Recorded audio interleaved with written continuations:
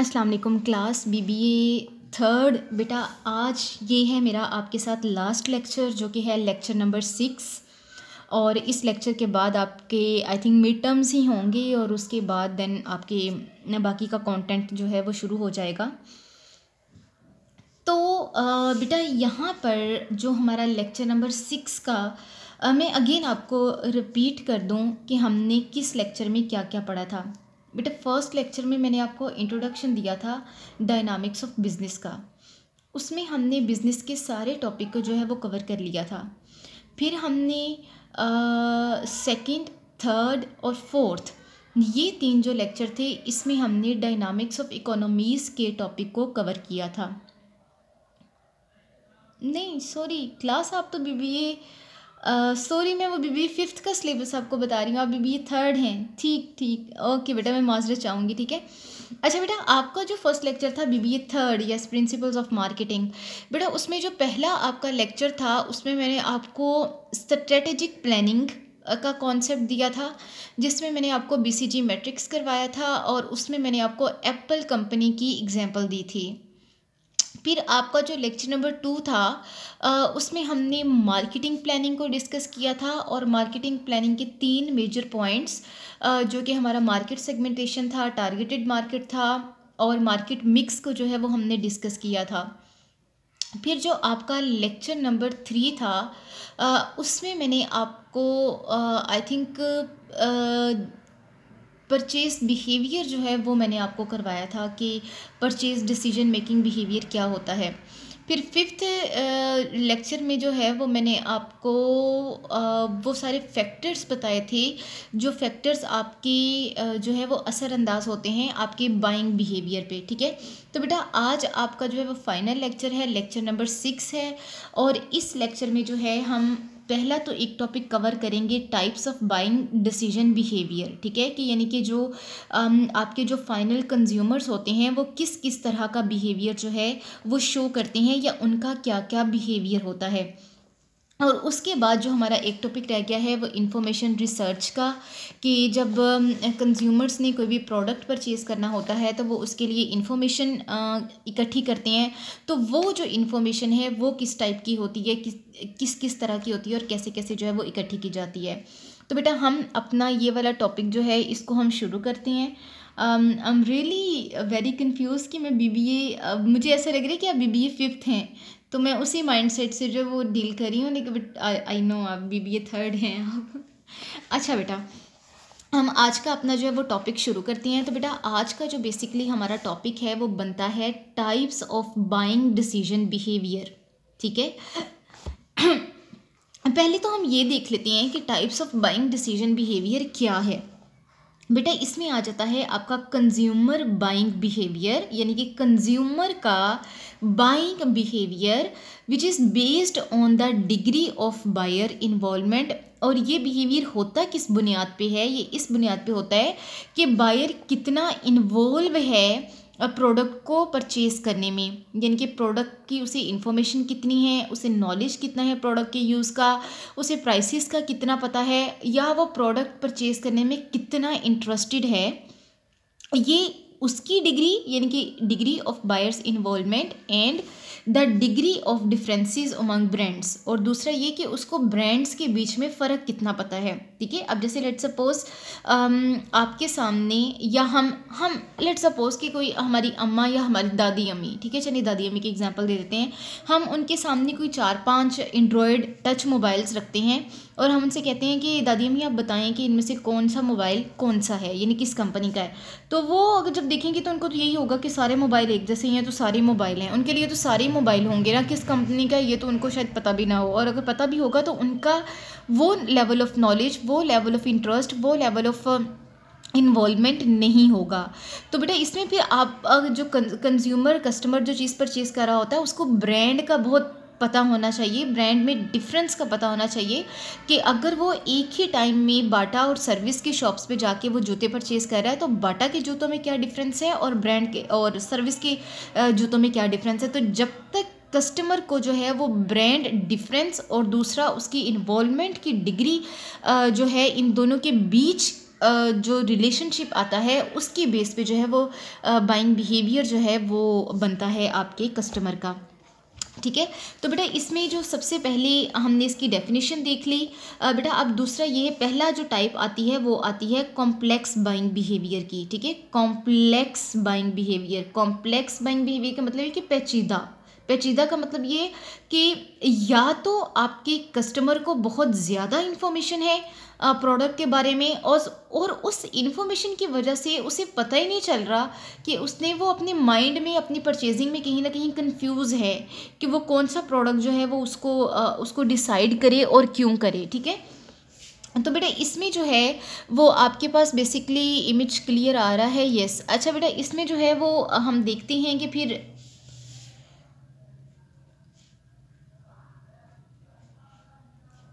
Degree of involvement क्या है buyer की और उसको ब्रांड डिफरेंस का कितना पता है? ये दो चीज़ें हमने हर डेफिनेशन में पढ़नी है।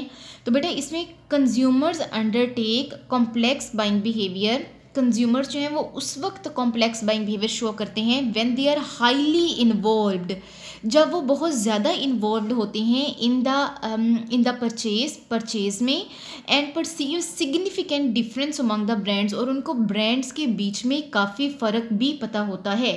तो बेटा, वो जो आपका बिहेवियर होता है, वो आपका चला जाता है कॉम्प्लेक्स बाइंग बिहेवियर में।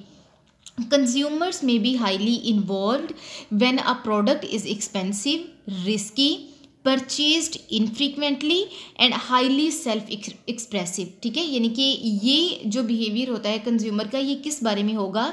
जब प्रोडक्ट इट्सल्फ एक एक्सपेंसिव प्रोडक्ट हो, जैसे आप रिफ्रेजिट रिफ्रेजिटर्स की बात कर लें, आप टच वॉशिंग मशीन्स की बात कर लें, वो रिस्की भी फिर ऐसी प्रोडक्ट्स हैं वो रिस्की भी होती हैं और फिर परचेज्ड इनफ्रीक्वेंटली और वो इतना कोई फ्रिक्वेंसी से परचेज भी नहीं की जाती। आप हमारे घरों में देख लें, हमारी अम्माएँ जो वॉशिंग मशीन यूज़ करती हैं, वो कोई पाँच, दस साल पुरानी ही हैं। ठीक है तो ये ये वो प्रोडक्ट्स होती हैं जो बार बार नहीं परचेज़ की जाती, कहीं सालों में एक दफ़ा परचेज़ की जाती हैं। एंड हाईली सेल्फ एक्सप्रेसिव और ये चीज़ जो है, ये खुद ही बता देती है कि मैं क्या हूँ। ठीक है, आपकी रेफ्रिजरेटर की कूलिंग जो है, वो खुद ही आपको बता देगी कि अच्छा यार, मैं डॉलेंस की हूँ, मैं हायर की हूँ या मैं किस ब्रांड से रिलेट करती हूँ। आपके वॉशिंग मशीन के कपड़ों की जो धुलाई है, वहाँ से आपको पता चल जाता है कि यार, ये ब्रांड कैसा है, ये ब्रांड अच्छा है या बुरा है। ठीक है? बेटा, उसके बाद आपका जो सेकंड जो बिहेवियर आ जाता है, वो आ जाता है डिसोनेंस रिड्यूसिंग बाइंग बिहेवियर ठीक है? बेटा डिसोनेंस हमने जब लास्ट लेक्चर नंबर फिफ्थ में पढ़ा था तो उसमें हमने डिसकम्फर्ट के नाम से इसको पढ़ा था, ठीक है? यानी कि डिसकम्फर्ट जब जब जब आपका कस्टमर सेटिस्फाइड ही नहीं है प्रोडक्ट से प्रोडक्ट की इन्फॉर्मेशन से तो वो जो एक सिचुएशन आती है, वो डिसकम्फर्ट की सिचुएशन आती है। So dissonance reducing buying behaviour reduce का मतलब होता है कम करना, ठीक है? ये this behaviour occurs when consumers are highly involve इसमें भी हाई इन्वॉल्वमेंट है, इसमें भी हाई इन्वॉल्वमेंट है। विद एन एक्सपेंसिव इनफ्रीक्वेंट और रिस्की परचेज ठीक है? और परचेजेस वही हैं एक्सपेंसिव है इनफ्रीक्वेंट है और रिस्की हैं। बट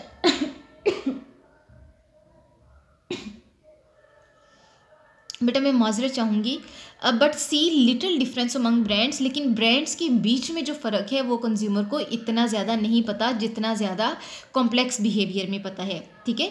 तो इसमें जो है, वो ये डिफरेंस है। बेटा, आगे फिर हम थर्ड नंबर पे चलते हैं तो थर्ड नंबर पे जो है, वो आपका बनता है habitual buying behaviour habitual buying behaviour क्या है कि it occurs under conditions of low consumer involvement अब इसमें क्या है कंज्यूमर की इन्वॉल्वमेंट भी लो है and little significant brand difference और ब्रांड में डिफरेंस यानी कि दोनों चीज़ें जो हैं वो कम लेवल की हैं। तो वो आपका हैबिचुअल बाइंग बिहेवियर होता है। मोस्टली जो हमारे, हमारी मार्केट्स में जो कंज्यूमर्स का बिहेवियर होता है, वो हैबिचुअल बिहेवियर होता है। देन बेटा आगे फोर्थ जो इसकी टाइप है, वो है वैरायटी सीकिंग बाइंग बिहेवियर ठीक है? वैरायटी सीकिंग बाइंग बिहेवियर क्या होता है कि consumers undertake variety seeking buying behaviour consumers क्या करते हैं, वो, उनका ज़्यादा फोकस जो वो डिफरेंट वैरायटी के प्रोडक्ट्स पे होता है। और मोस्टली ये वो कंज्यूमर्स होते हैं जिन्होंने होल सेलिंग का काम करना होता है, या जिन्होंने एक बल्क में चीज़ों को परचेज़ करना होता है और उन्हें फिर आगे रीसेल करना होता है। तो variety seeking buying behaviour in situation characterised by low consumer involvement अब चूँकि वो कंज्यूमर खुद अपने पर्सनल कंजम्पशन के लिए वो नहीं प्रोडक्ट परचेज कर रहा होता है इसलिए उसकी इन्वॉल्वमेंट भी कम होती है but significant perceived brand difference लेकिन उसको ब्रांड का बड़ा अच्छा पता होता है, क्योंकि उसने जाके अपने कस्टमर्स को बताना होता है कि ये इस ब्रांड की चीज़ है, ये इस ब्रांड की चीज़ है, ठीक है? तो मोस्टली ये जो बिहेवियर्स होता है, ये शॉपकीपर्स का होता है होल का होता है, या डिस्ट्रीब्यूटर्स का होता है, वो मोस्टली जो है वो इस तरह का बिहेवियर शो करते हैं। हैं। तो बेटा, ये आपका जो टॉपिक है, ये हमारा types of buying decision behaviour complex buying behaviour dissonance reducing buying behaviour यानी कि ये हमने चार टाइप्स जो हैं, वो बायर के बिहेवियर की हमने डिस्कस की हैं। तो बेटा, ये जो टॉपिक है, इसको हम यहाँ पे ख़त्म करते हैं। एंड आई होप सो कि आपको समझ आ गया हो। अब हम अपने अगले टॉपिक की तरफ़ चलते हैं, जो कि था about the information search yes ये वाला marketing information M I yes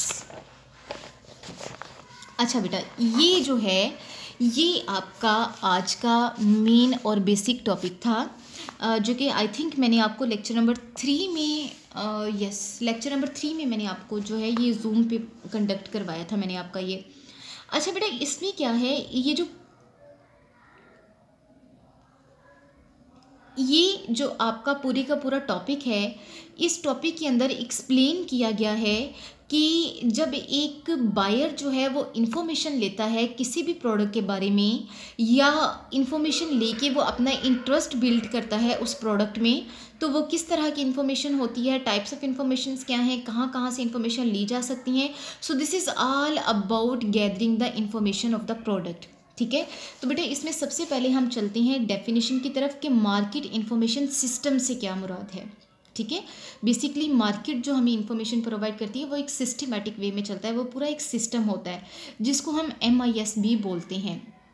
ठीक है? तो ये marketing information system consist of the people and procedures people and procedures for assessing information needs यानी कि उन लोगों के प्रोसीजर्स का ये नाम है, जो इन्फॉर्मेशन को असेस करते हैं according to their needs developing the needed information फिर वो अपनी नीड्स के मुताबिक देखते हैं कि हमें किस किस इन्फॉर्मेशन की ज़रूरत है एंड हेल्पिंग डिसीज़न मेकर्स और फिर वो डिसीज़न मेकर्स को हेल्प आउट करते हैं टू यूज़ द इन्फॉर्मेशन कि वो उस इन्फॉर्मेशन को इस्तेमाल करें to generate and validate actionable customer and the market insights ताकि वो कस्टमर का जो रिस्पॉन्स है, जो बाइंग रिस्पॉन्स है, उसको क्रिएट कर सकें जनरेट कर सकें, ठीक है?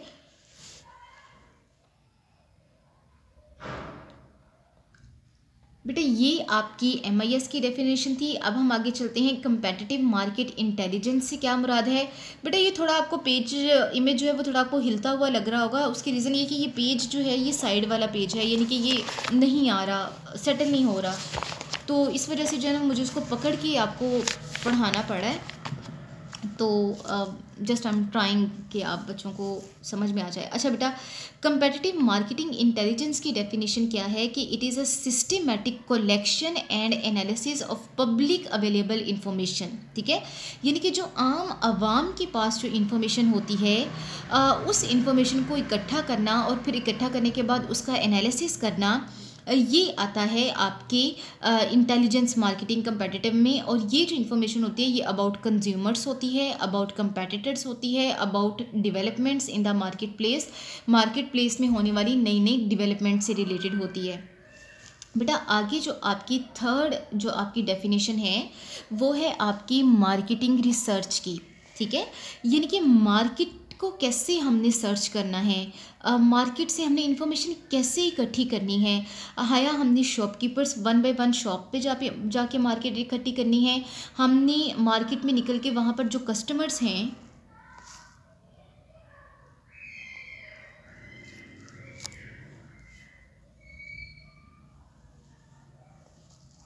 हमने उन कस्टमर से डिस्कशन करके जो है वो इन्फॉर्मेशन इकट्ठी करनी है या किस तरह से इन्फॉर्मेशन इकट्ठी करनी है। तो this is the systematic design collection analysis and reporting of data relevant to a specific market situation facing an और ऑर्गेनाइजेशन जो एक ऑर्गेनाइजेशन फेस कर रही होती है मार्केट सिचुएशन को, उसके ऊपर जो है वो पूरे डाटा को अपनी कलेक्ट करना डिज़ाइन करना, उसका एनालिसिस करना और फिर उसके ऊपर रिपोर्ट देना, वो आपका पूरा मार्केटिंग रिसर्च में चला जाता है। अच्छा बेटा, जब हम मार्केट रिसर्च करते हैं तो ये काम बेसिकली प्रोजेक्ट्स के फॉर्म में होता है और वो प्रोजेक्ट्स तीन तरह के होते हैं। सबसे पहले आपके आते हैं एक्सप्लोर एक्सप्लोरेटरी प्रोजेक्ट ये वर्ड जो है ना, ये मेरी ज़ुबान पे नहीं चढ़ते। अच्छा exploratory research to gather preliminary information बेटा प्रीलिमिनरी होता है अर्लियर इन्फॉर्मेशन जो बिल्कुल जैसे अब अब अब ए बी सी जैसे एक बच्चा सीखना शुरू करता है ना, पहले जब वो नर्सरी में जाता है या प्ले ग्रुप में जाता है तो उसकी जो प्रीलिमिनरी उसका जो नॉलेज होता है वो ए बी सी अलिफ बे वन टू थ्री ये सब चीज़ें होती हैं। तो बेटा, उसको हम कहते हैं कि ये हमारी प्रीलिमिनरी इन्फॉर्मेशन है। That will help define the problem जो कि उनको प्रॉब्लम को सॉल्व करने में जो है मदद करती हैं एंड सजेस्ट हाइपोथेसिस और फिर वहाँ उन पे जो है वो हाइपोथेसिस भी सजेस्ट किए जाते हैं। डिस्क्रिप्टिव रिसर्च बेटा डिस्क्रिप्टिव रिसर्च का क्या मतलब है? To describe things such as the market potential for product अच्छा बेटा, इसमें जो है वो आपने किसी भी एक प्रोडक्ट के लिहाज से उसका मार्केट पोटेंशियल जो है वो आपने, उसको जो है वो आपने एक्सप्लेन करना है।